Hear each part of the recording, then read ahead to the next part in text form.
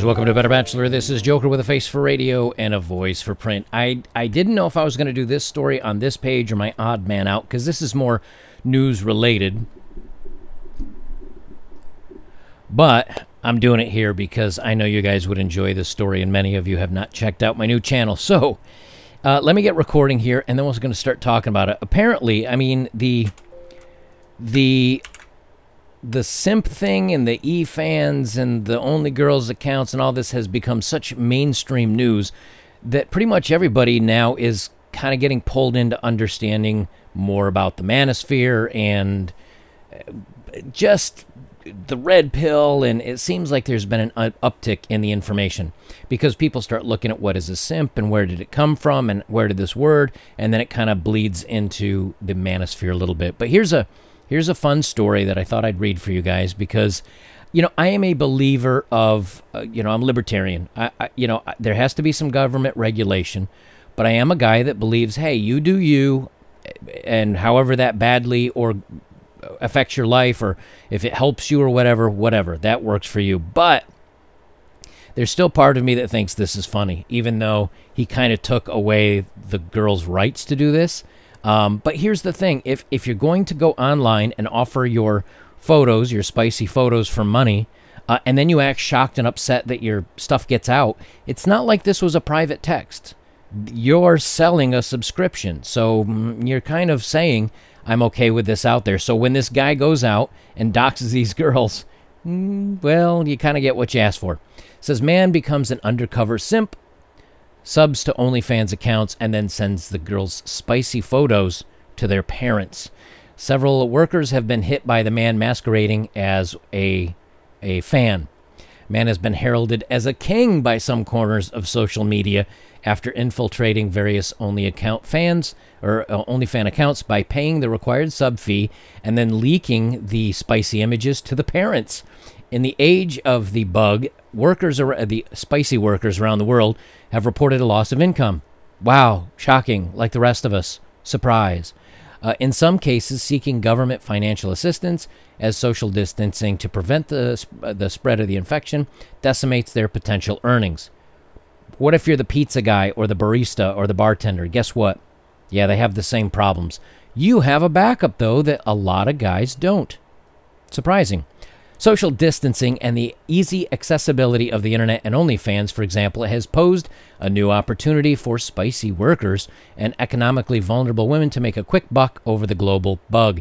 As a result, some OnlyFans stalwarts have complained over the e girl market saturation, leading to a loss of overall income besides the extra competition. That's right, when, when supply outdoes the demand, prices fall. I don't feel bad for you. Sorry. National File previously reported on an Australian OnlyFans influencer who claims to have no other talents. As her revenue stream began to evaporate, her subscription waned due to the bug related financial strain on her supporters. Furthermore, internet memes have flourished in satirizing OnlyFans account holders and their 21st century Johns, otherwise known in parts as simps. Uh, the Australian one was funny. She's basically, uh, and I, I thought about doing a video on this, but I'd seen it covered in other places, and I said I'm not going to bore. But she's basically on camera crying, saying, "All my money is gone. I can't do anything. Blah blah blah, and I have no other talents. Like this is all I'm good for. And with the clubs being closed, I can't even go like strip. So, that there you go. So anyway, this Jacob, um, he says. My web browser is being funny today. Uh, I don't have a big platform, but anyone who's involved in SW has friends who are. Please be aware of this absolute crap stain of a human who is doxing girls for willingly making content. So this is someone, I guess, reporting on it. Uh, only uh, one Twitter user under the handle of Professor Wilhelm was subscribing to several OnlyFans accounts out of his own pocket, only to send the performers' parents their spicy images.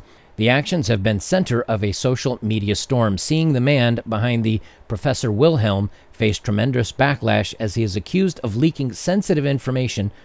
Um, here's the thing again, if you make a public account and somebody finds it and decides to share it, you put it on the web. Just because it's behind a paywall gives you no right to privacy. Netflix is behind a paywall. Hulu is behind a paywall. That doesn't really mean much. It doesn't really give you any um, protection. Several, organ- several original posts were deleted. However, the other Twitter users on the side of protecting the workers took screenshots advising people to be careful online.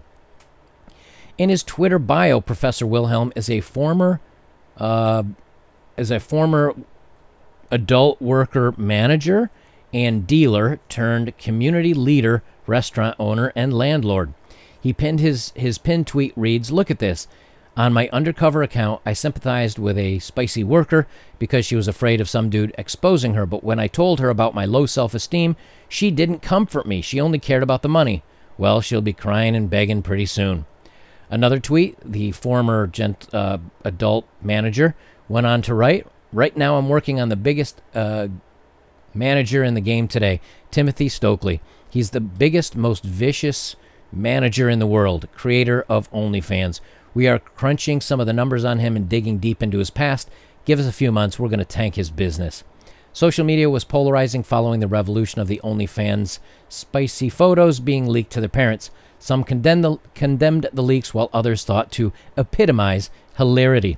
National File also reported on a story where a mature OnlyFans adult worker was selling her late daughter's spicy photos to keep her memory alive. In other words, making money on her passed away daughter's dirty photos. You're a champion. A spicy worker mother drew negative criticism for social media by memor- memorializing her late daughter by posting her spicy images on Twitter. The strange act promptly the strange act prompted many u- accounts to tweet about the eulogy. The original tweet showing the mother Liza Martini with her late daughter Ava, who were pictured both topless, has now been deleted. Commenters were quick to condemn the acts. So you know, I, I here's what I think's funny about this. Number one, if you're going to put your material out there, whether behind a paywall or not, hey, the internet's forever. You get what you get. Now, just because now there is part of me, like I said, that I, I, I believe you should be able to allowed to do whatever you want to, and uh, that's kind of you know free speech. Well, you were allowed to create the account, and you did. Congratulations. He was allowed to subscribe and see your photos. Congratulations. He was allowed to take screenshots because that's how computers work and the internet works. And he's allowed to share them. I don't see anything that's really making this against the law. Um, it, maybe it is. I don't know. But uh, again, if someone makes a this Mr. Wilhelm, you can make a, a, a new email. You can use someone else's photo or a fake account you can spread this information. And if you mask your IP address using a, a VPN or something, they have no way of, of, of finding out who you are. So there's no way to stop this happening. So if girls are going to do this, yeah, well, hey, you got you got to take the risk to get the reward, I guess. And uh, I guess they're getting a little bit of the the action back in their face. Do I think this is a good thing? Uh, yeah, I think it's kind of funny and I think it, it too many women think they can do this and no one will know about it and I can quietly make this money and I can do it hush hush on the side. I think this is a pretty much a slap in the face to remember, hey, you put this stuff online, you put yourself out there to the public, people are going to find out about it. And when they do, there can be some ramifications and some things that maybe you didn't think about. And maybe this is enough to make a woman pause and say, is this something I really want to do? Is do I really want to go down this path? Is the money going to be so good that I need to, or is it going to be uh, so harmful to me that it may affect my future relationships, which it will. It may affect my future job prospects, which it will. And it may cause me a lot of headaches down the road, which it will.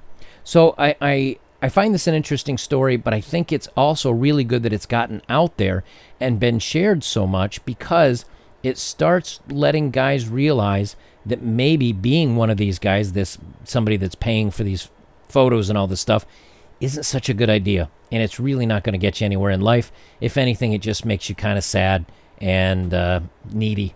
So maybe maybe simple continue to grow in popularity. I know it's gotten so bad that that Twitter or excuse me Twitch has banned emojis with simp in it. So again, if they can't make it go away, they'll try to shut it down be interesting to see what happens. Guys, if you'd like to support my work, links are below. As always, if you have recently, thank you very much. I appreciate it.